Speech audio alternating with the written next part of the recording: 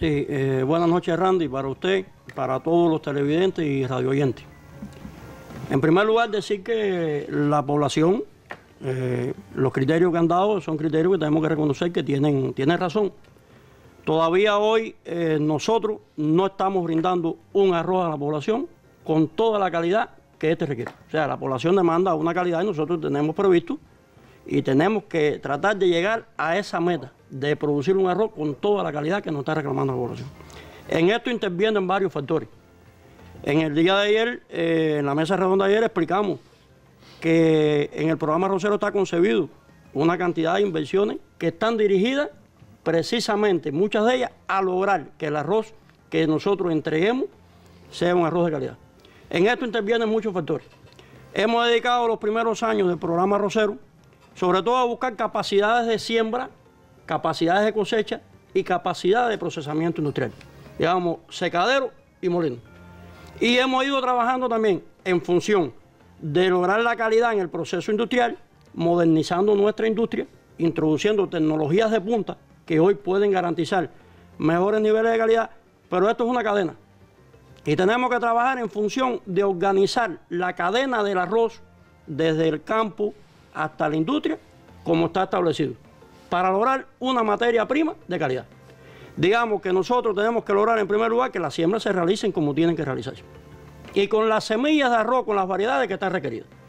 Tenemos que lograr que la cosecha para esto la realicemos en los momentos óptimos que esté en parámetros el arroz. Tenemos que lograr entonces que cuando este arroz llegue al secadero podamos conformar los lotes que están previstos en los secaderos como está establecido con arroces que tengan los mismos parámetros. Porque lo que nos ocurre en determinados momentos es que unido a que el arroz viene con un problema de calidad, mucha materia extraña, eh, pasado de humedad o con la humedad no requerida, eh, unido a esto entonces hay mezclas varietales también.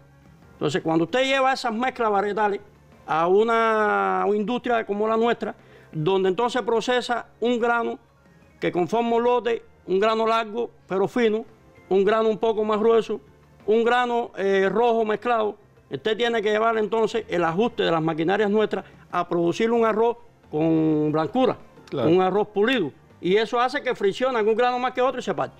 De todas maneras, la población casi siempre no reclama tanto el grano partido como la limpieza que, tiene, que, debe tener el arroz. O sea, usted puede tener un grano en el mundo entero, hay un arroz que se mezcla, tiene un grano partido pero limpio, entonces ya la población dice, bueno, este cuesta menos trabajo eh, escogerlo. Y lo que tenemos que lograr nosotros es que el arroz venga con menos impureza, con menos piedra, como dice la población, con menos grano oscuro, eh, con menos bejuco de bodines, que es una bolita que se le introduce el arroz. En función de eso nosotros tenemos que trabajar.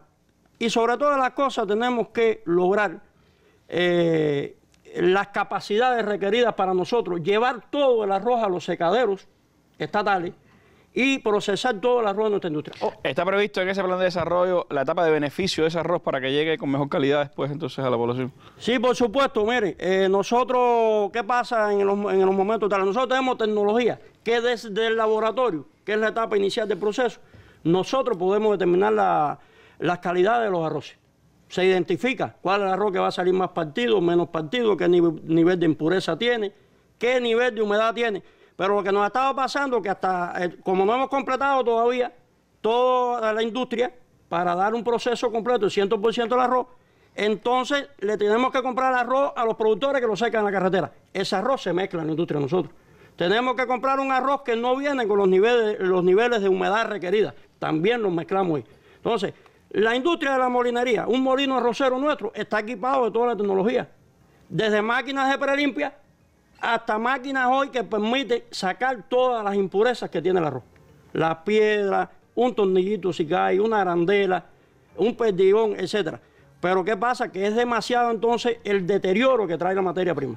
Eso se logra únicamente, o sea, la calidad de la materia prima que vamos a introducir a la industria y con ello lograr una mejor calidad del arroz ya eh, consumo. Eso se logra cuando nosotros organicemos desde la siembra hasta el último labón de la cadena eh, el proceso productivo. Se supone que todas estas inversiones van encaminadas hacia ese objetivo, ¿no? Sí, por supuesto. Anoche explicamos que ya, digamos, eh, estamos ya más del 90% del proceso inversionista en la industria del arroz. Cuando hablo del 90% incluye que ya en Cuba hoy tenemos los secaderos, tenemos los molinos, las plantas de beneficio y los silos para cubrir las capacidades que demanda la producción arrocera en Cuba.